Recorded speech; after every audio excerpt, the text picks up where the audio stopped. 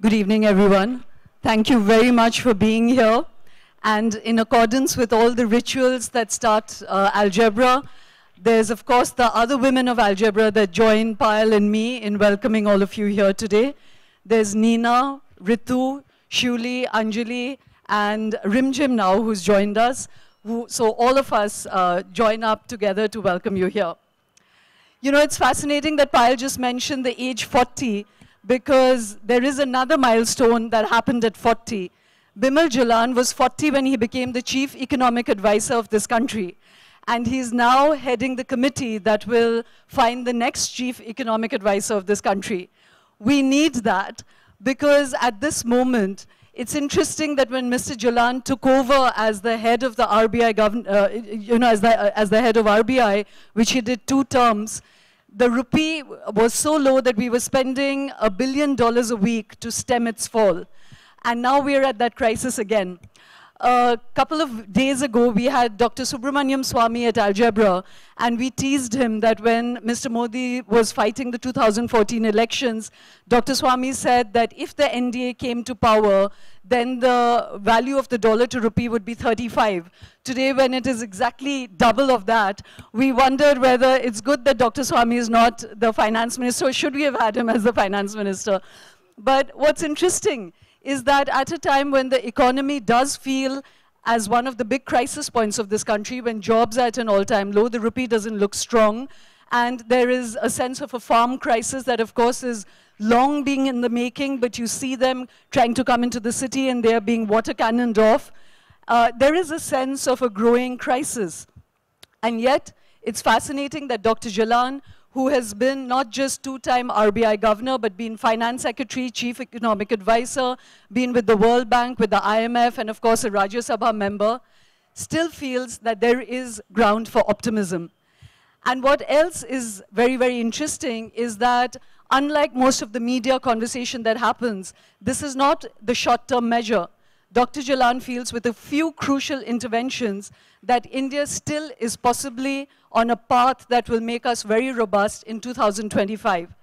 What's also interesting is that that oft abused word, reforms, takes on a completely different meaning in Dr. Jalan's hands. When he suggests reforms, they are really deep reforms and reforms that make a lot of sense, which is not part of the noise of the moment.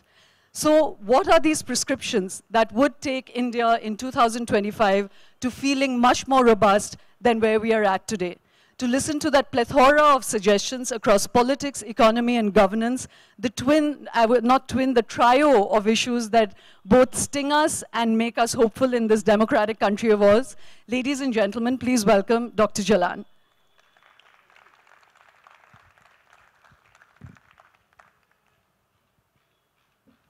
So Shoma, yeah, yes, you, you start. So it's interesting. You are the conversation person. Yes. so will you just speak a little into the mic? No, it's, it's on. Just speak a little into Yeah. So, so as I said, it's interesting not just that you've written a book which is optimistic, but back in just March, you were feeling very optimistic about the path that the economy, Indian economy is on. Do you feel as positive today uh, about the immediate situation and the short term? No, but you know, I mean, the, don't take the short-term view. I don't take the short-term view of our economy. Can all of you hear Dr. Jalan at the back? Yes. No, I, I don't take a short-term view of the economy. You must take the medium term and rely more on the structural issues rather than the markets or what's happening somewhere else in terms I'm, of jobs. Can you hear him at the back? Um, no, you can't. Just to, so when you turn towards me, if you could just turn with the mic. With the mic? Yes. okay. Carry Is it all right? Yeah. Now? Carry your portfolio with you, okay. Okay, yeah. yeah. Now what I was trying to say is essentially that uh, I don't believe in the short term. I mean, if you draw any line for any country, you would find that there, are, there is volatility, there are fluctuations, the government changes, something happens, and doesn't happen. But underlying all those short-term issues is there a long-term trend. And I think that is what we should focus on when we are talking about the Indian economy now as compared with what it was, say, a few months ago or a few years ago. And uh, I, my, I am positive. I mean, obviously, something which is going on now is a little depressing. There are not enough jobs being created. The rate of growth is, much, is somewhat lower, or rather more lower, more low than what was anticipated earlier. And uh, also, in, inflation is good, but uh, that's not the primary concern. Jobs, then the demand for credit, then of course the problems of NPAs, the financial sector, these are issues which have to be tackled. And, but I'm sure that if we have the will and if the government has the ability to take action, which is not just uh, what you might say, putting tapes on a wound, but trying to cure whatever is wrong from a structural long-term point of view, then it can be done. Because my main point is that we have all the strength, India's economy today has all the strength in terms of the economists, what economists call factors of production. We have technology, we have land, we have labor, and we have capital, which is very different in terms of investment, in terms of savings, 30%, 32%, or whatever it is. So if you look at all the factors of production, India is in a very strong position today. Now, what we need to ask ourselves, I mean, looking at, and for the first time after 1989, we also have a majority party government in power. Now, why is that important? I mean, we have had coalitions, we have had five-year governments. It is important because some very fundamental structural changes can be launched by the present government. Next elections are in May 2019, and what it can do, if it wishes to, is to take hard measures or strong measures, both on uh, politics as well as economics and, of course, governance in terms of administrative reforms. Because one of the things about India, and most of you are experts, would know that uh, although we have moved from what you might say very low rates of growth and a very underdeveloped country, balance of payments crisis, to a strong economy, to a country with one of the highest reserves in the world, to a very, and uh, to a fast growing technology sector and so on and so forth. But all said and done, the hope that India would be able to alleviate poverty in the short run, that India would be able to do what needs to be done for the benefit of the people in terms of public services, social sector services, and so on, that that has not materialized. So, Dr. Jalan, if I, if I may just intervene here to ask you that you mentioned that all the factors of production are there, and so those are grounds for, for optimism. But so it's very interesting that even, you know, not just in these years, but the good years of the UPA, uh, what has happened is that the, the share of, of uh, money and of, of wealth of the top 1% of the country has really jumped by 10% from 48 to 58% broadly. And 50% of the country continues to have just 2% of the wealth. That broad arc of the way our economy is moving and the benefits of, of uh, the current kind of structures of economy has not really shifted. So what is the one really big structural reform you think that we need to make to break this kind of, you know, growing disparity between the wealthy and the poor? No, this is a very important question. This has been so for a long time. And it's not a question of 98%, but it is a question that we have 250 million to 230 million people below the poverty line still. So what is it that can be done? And that is where you require a lot of action in terms of political reforms, in terms of administrative reforms, in terms of what we have, what I say is the carryover from the colonial era, there is central government. We don't have decentralization. Now just think about it, that we have a country which can give you the largest free and fair elections in human history. Why is that? Election Commission is nominated by the government. Then we have the UPSC, an institution like the UPSC, which selects civil servants and it's entirely competitive. Everybody has a chance, an equal chance, and it can do it in terms of the benefits to our country, selection process. You have the CAG, which can criticize the government, the Controller and Auditor General, and nobody can send him to jail. So just think about it, that there are, India is possible that we can do it. The main problem in our country is that what we cannot do is to reduce the power of the central government. The main problem is that all said and done, the political structure that India has, it is a colonial heritage. The power of the center to govern the states, power of the center to govern the people. The problem with the administrative reforms part, in terms of that you can't do anything without 30, 30 or 40 steps in our country. So we have to ask ourselves the question why? Why can't we take what we can't do what we have done in terms of three institutions that I mentioned and some more? It is simply that we not only announce policy at the governmental level, but all the implementation is with the ministries. That you will have 74 departments or 76 departments of government of India at the central government. That you don't decentralize. You decide what the states can do. It's the same country which has a finance commission which decides how much money would go to the center, how much money would go to the states. But in terms of power, I mean, there is this problem that we do not decentralize, we do not try and make our administrative system simple, we do not try and make political reforms. I mean, why ask yourself that you have 100 uh, criminals, in, uh, criminals in Lok Sabha, which we have elected, because they are innocent until proven guilty. And you can't prove them guilty because it takes a long, long, long time. But but sir, you know, you you, no, you mentioned this thing about uh, you know outsourcing or one of the big big uh, sort of ideas that you have in the book is that a lot of lateral people, professional people, should become ministers. You know, rather than politicians. At least 25% of the cabinet should be people out of politics. It's a very tempting idea, and it's uh, you know it's it's a, as I said a delicious idea to bring very professional, competent people into government. But so would it also make it even less attractive for good people to join politics. If you take away the power, you take away their privileges, you take away their perks, uh, you know, being in politics is very, very, very difficult. We're criticizing them all the time, but it's very difficult to be in politics. So do you think that it's a good idea to take away uh, or to make 25% of the cabinet professional people? What's the attraction of being a politician then? No, no, but that is a, that is a different issue altogether.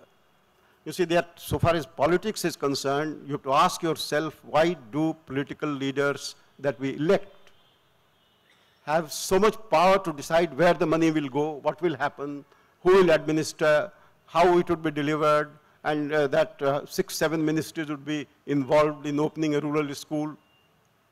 Now you ask yourself, you can decide policy, but why don't we decentralize? You can decide on what needs to be done for the benefit of our country in a political sphere. But why, why is it that the political leaders would can, you know, choose to be in politics rather than in jail? You know why? Now supposing, and there are, that is what I have tried to show in the book, that irrespective of uh, the, irrespective of your, what you might say, your, uh, your, in, your uh, sort of uh, your inclination towards the left, right, or center.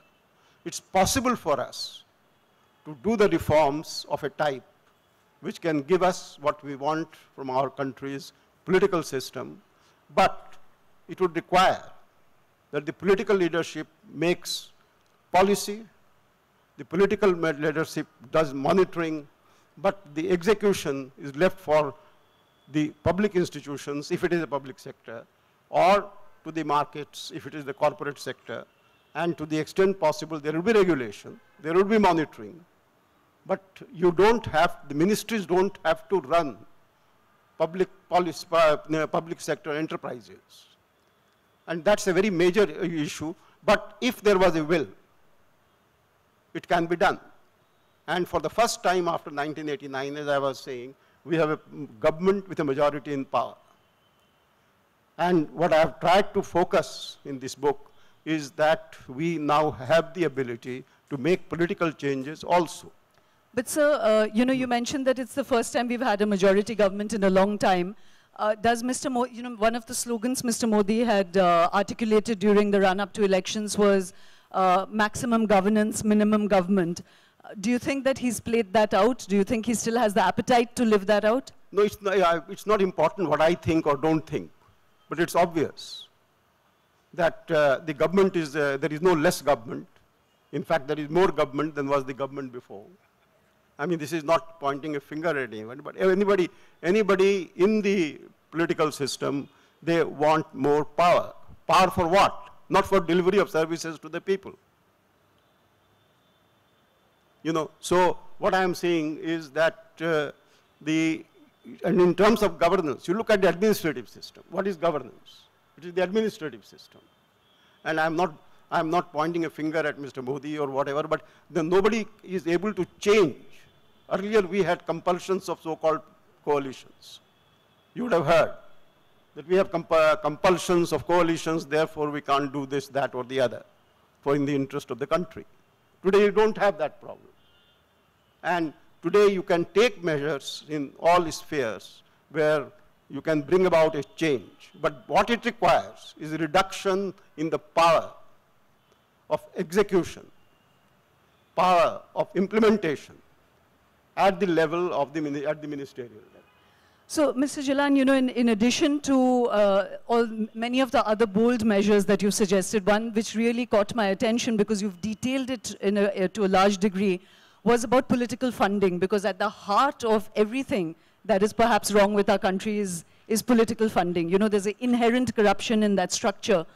Uh, you had an amazing statistic. You said to fund the Lok Sabha elections, it would cost 20 lakh crore uh, which is only 0.2 or 3% of government expenditure. Is that statistic correct? Yes. And uh, so then, if that is the case, why is there such resistance to political funding? Because you have a very strong formula for where it could be a very fair and transparent way.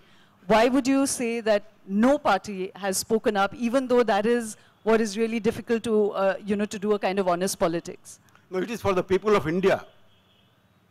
Why would a party which is in power you know, want more political uh, ownership by what we, what, what, what, we refer to as the ordinary people. So the, here, the main issue that uh, what I am raising in the, in the book is also that supposing you, the uh, political leadership in our country today, and I've mentioned 100 criminals in politics, supposing, and there are changes, supposing you said that we believe you to be innocent. And therefore, you, the government will give preference to hearing your cases and constitutional amendment would be made so that anybody who is elected and he has to take the office in six months, that his cases will be resolved in six months. I can assure you that if you had that kind of a provision, that no convict would like to fight an election because this way he can wait for 20 years. Otherwise, he will have to uh, prove his innocence in six months. Similarly, why is it, ask yourself, 40 parties, small parties, are in government, in, sorry, Lok Sabha. That's the uh, unintended consequence of something which was supposed to be very positive, which is the anti-defection law. Now, anti-defection law, I'm sorry to be saying some of these things, but these are just examples. That anti-defection law was launched at a time which was a good thing to do because there were two sets of parties, two parties, and they were haggling in one of the states for power. So you said that, no, you can't switch. There are three, four people can't switch from one party to the other, which was well, well intended. But now what has happened? That if you are a leader with two constituencies, you will have your own party. And you every day you read in the papers, you read in all the states that this party will join that party, that party will join this party. And if you are a leader with two constituencies, three constituencies, or even one constituency, you will have your own party, then you can do whatever you like. Now supposing you, are, you said that anti-defection law would also apply to parties. So I, am just giving you instances of these things that you know, that there are things that we have to do, which may be well intended, anti-defection law, you know, give time to everybody to fight their uh, cases, and so on and so forth, but times have changed. So, you know, we'll move away to eco the economy and to other ideas, but before that, just two more very strong political ideas that you've suggested, uh, which seem really radical. One is to change the composition of the Rajya Sabha altogether, the, the character of the Rajya Sabha.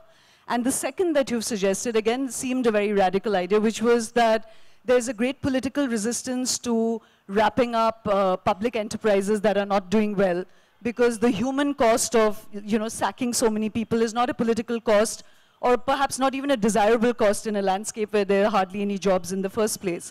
So you have two very radical uh, ideas, both for you know, uh, winding up public enterprises without hurting people who had jobs.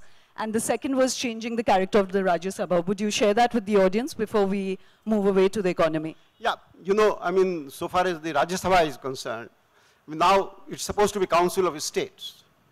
You have bicameral legislatures and the idea is this is Council of States, that you represent the states. But if you look at the functioning of Rajya Sabha, you, the, you are elected from one state, and you may join a party, and then do whatever you feel like doing for that behalf, on behalf of that party, without any regard to the state, which has elected you. So what you need in our country is an address that I am from this state because I have got a rented flat. And then you go to a party which would select you, elect you. So this is the problem now because it is not a council of states, that is the representatives of the, the elected representatives of the state are not the residents. I'm not talking about everybody but quite a large number. But that isn't, that, isn't that quite a parochial idea then that you can only think on behalf of a place if you're from that place? No, you are representing that state. Otherwise, why do you need Council of States? You just, just think about it. Why do we have Council no, but of States? But you can represent the interests of a state even if you, you know, because this, if taken to its extreme, ends up being the Shiv Sena position of, you know, you stay in your no, state no, and right. I'll stay in my no, state. No, but uh, what I'm saying, you have, you have backward states, you have, uh, you know, developed states, you have whatever do you, you want. I mean, you know, all kinds of states. I'm not saying that this does not matter. If you want to do for these states which are not, uh, uh, which have not developed. And the, the developed countries, uh, the developed states, government supports more financing for them. By all means, go ahead. But what I'm trying to say is that if you look at the uh, functioning of parliament, and uh, I had the good fortune of being nominated there, so I was watching that, that it is not the state, it is the party which decides what you will do. So as an aside, before we uh, pursue that conversation about, uh, you know, how to wrap up public enterprises without hurting the human resource involved, uh, just as an aside, sir, you know, the, the last RBI governor was, one of the reasons asked to leave, at least publicly announced, was that uh, he was only half mentally Indian. Would, would you, sir, have uh, in this time not been valued of just having a lot of utopian ideas because these ideas almost seem impossible to implement. So should we no, actually start are, feeling uh, despairing? These are not worth uh, discussing. You know, mentally Indian, but you know, not uh, physically Indian, or physically Indian, but not mentally Indian, American Indian, but not Indian American. You know, I mean, these are these are issues which are not relevant. I mean, from either economic How about Harvard versus hard work? Bigger pardon? How about Harvard versus hard work? No, no, but what is, what is hard work versus hard, uh, hard work? Why it can't takes you? a lot of hard work to get to Harvard. uh, so, of course, it, it gets a very hard work, it gets a lot of work these days also to get to the top university in India. That's true. Harder to get to the so, top university so then, in India. yeah. So these are, these are, these are issues which have no value from my point of view. yeah, sure, sir. So just to get back to that, because it's such a contentious uh, conversation in, in our public life, about wrapping up public enterprises. You know, everyone wants the public sector to recede. But at a time when there are very few jobs, it's really a hot potato to wrap up so many enterprises because it means a lot of further loss of jobs. But you have a very interesting formula again, which economically seems to make a lot of sense. Would you share that with the audience? Yeah, I mean, what I have said, and uh, if, I, if I can be somewhat personal also, is that uh, when we did the evolution of the foreign exchange regulations in the RBI, there were 300 people or something who which used to issue license, uh, you know, these permissions from the RBI for somebody to go to the bank and get money from there and so on and so forth. And uh, we decided that uh, we liberalized the whole system or whatever. And they were, but nobody was fired. It's easy that you stay, have whatever privileges, whatever pension you are entitled to, as, a, as an RBI pensioner or as somebody who if he retires, he will get RBI pension. And I, we launched an early retirement scheme also, which would completely, that, that if you find, want to have another job, have another job, but you will get your full pension at the age to which you are qualified. So don't take away money from them. Don't take away any advantages if it is in the interest of the country that you should in introduce a reform. Why? In 10 years, everybody will retire anyway. So how does it matter? If I pay for those 10 years to give, to take measures which are benefit to my country. So what we have to think about is that I'm absolutely uh, uh, of the view that you, nobody should lose a job because I am reforming a public sector enterprise. So That just, is- yeah. Yeah, just, just to share with you that, uh, you know, the math that Dr. Jalan puts out in the book is that even if you continue to pay salaries for everyone, for all the enterprises that you shut down, the cost is so little compared to the costs you would save for shutting down the enterprises, the efficiency costs, uh, but also not to displace human resource. Uh, that, that seems to be an idea that no one really talks about uh, in the public domain. And, you know, it's, it's quite, uh, one talks of it as wasteful expenditure, not thinking about the human cost of, of doing away with things. So it was very re refreshing to see this approach come from you, sir. No, but that's what I'm saying, that you look at any public enterprise, and you would find that the administrative cost is much lower. I mean, that is uh, extra additional. uh, Much higher, cost. you mean?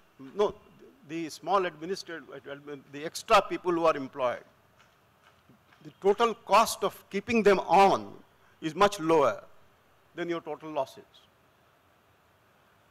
So what I'm saying, is possible for us to do what we want to do in country's interest. So, so again, to stick with that theme of reforms, uh, you know, which is the kind of uh, nerve running through your entire book, when the media talks about reforms, there are just one or two pet issues that come up all the time. It's FDI and insurance, or it's labor reform. It's the big one is always labor reform. It's interesting that you know the reforms that you talk about, even in economic terms, is again and again and again about public deliv uh, delivery of public services. You know, uh, again coming from a RBI governor, IMF, World Bank, you know, very very market-oriented man.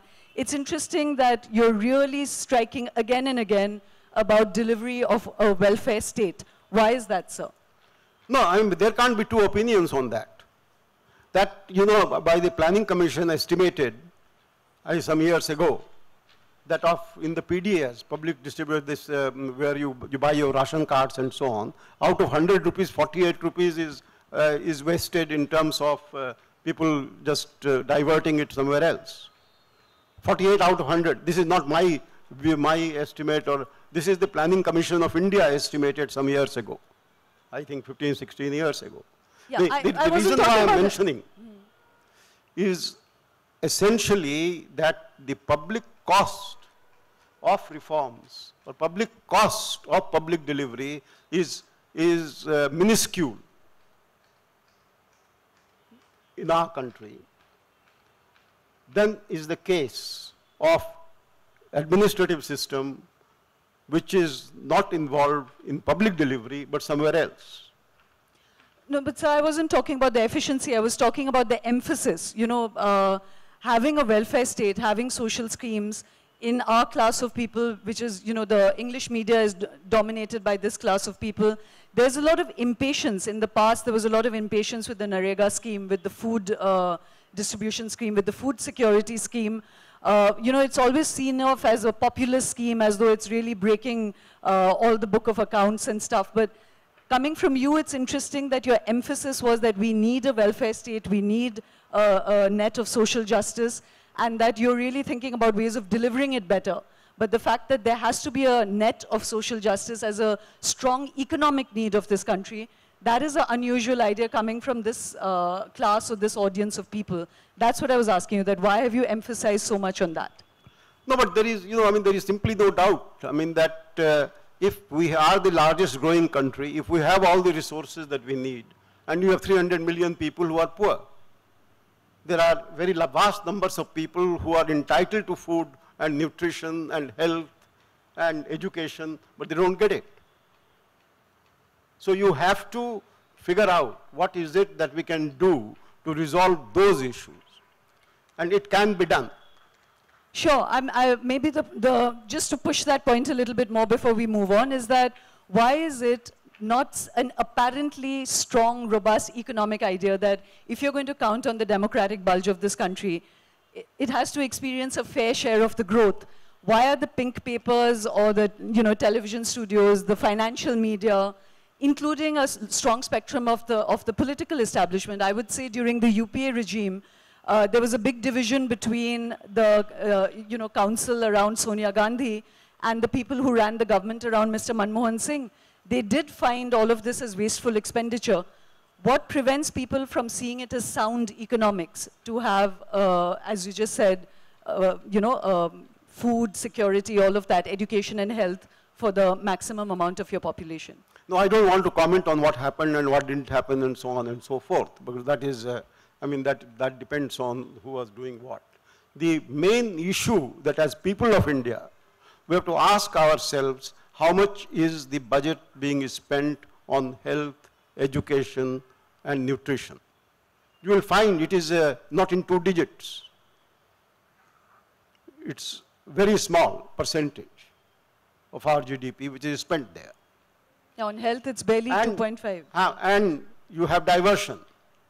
So I think what we have to find at the bottom is not, don't, nobody should lose his or her job nobody should be affected adversely.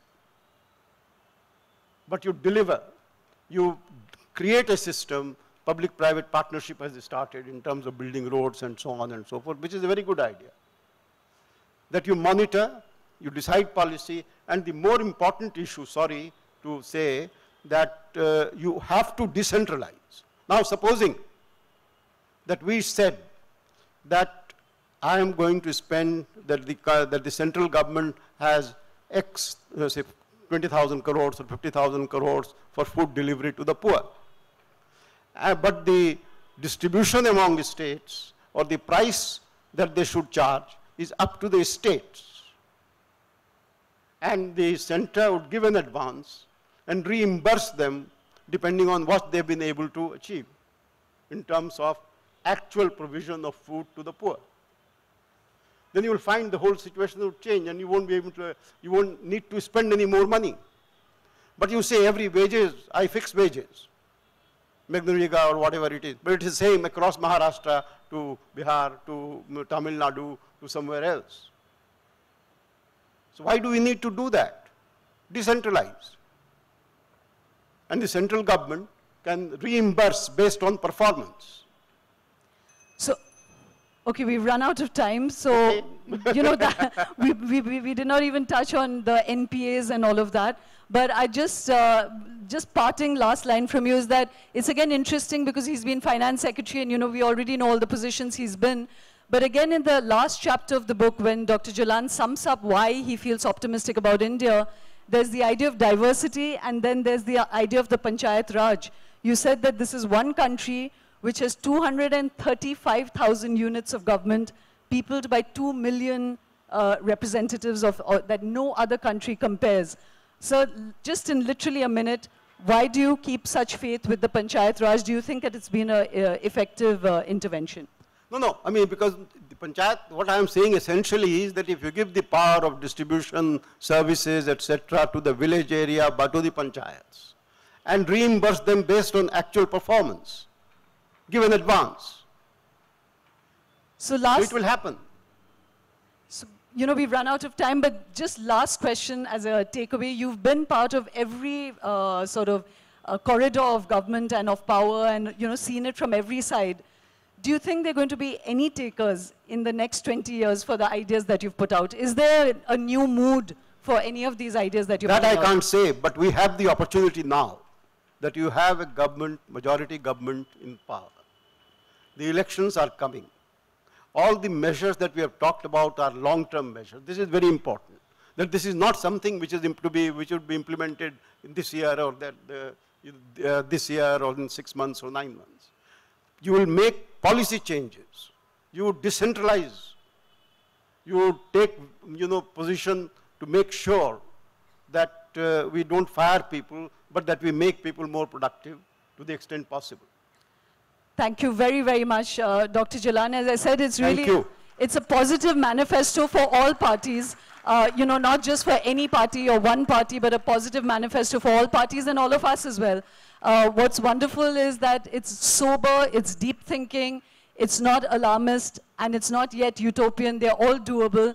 Uh, and the more of that we interna- internalize these ideas, I think the stronger we'll be as a country. Shoma, Thank you are you, being sir. very, very generous. Generous. so I Thank hope, you. I hope the political parties respond to you like that. Thank you.